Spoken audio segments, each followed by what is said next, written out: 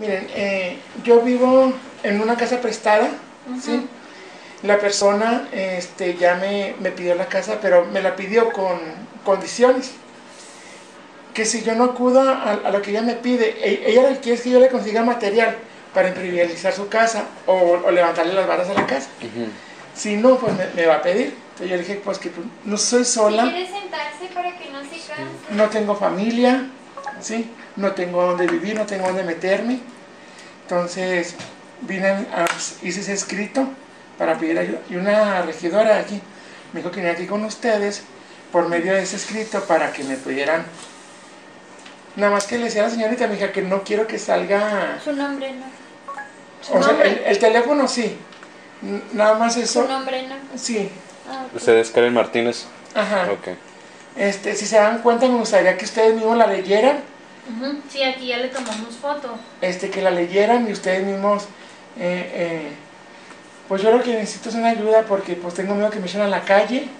Ya me van a operar, a lo mejor de mañana en 8. Uh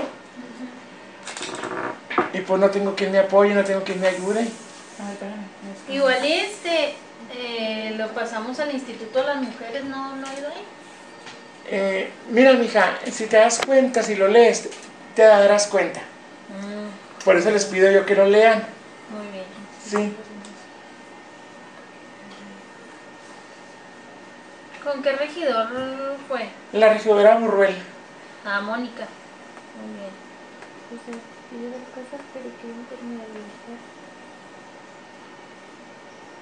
Es esencia cierta, mija. Mm. Yo soy chica trans. Sí, Ajá. Sí, soy chica trans. Entonces, yo, yo lo que quiero especificar ahí, no la supe escribir como pues es debido, pero en sí, en sí, eh, pues tengo mis, mis hermanos, entre comillas, mi papá, entre comillas, que nunca me ha aceptado, nunca, me ha querido. Sí, yo ando en la calle, yo ando sufriendo en la calle. O sea, son muchas cosas, mija. A mí si me piden foto, no sé si quisiera sentarse de espaldas, o sea, que no se vea su rostro ni, Ah, ni ok. tampoco poner su nombre, nada más para. Sí, o sea, cuidamos su identidad. Nomás que le digo en el periódico, si nos piden, o sea, si tenemos Sí. que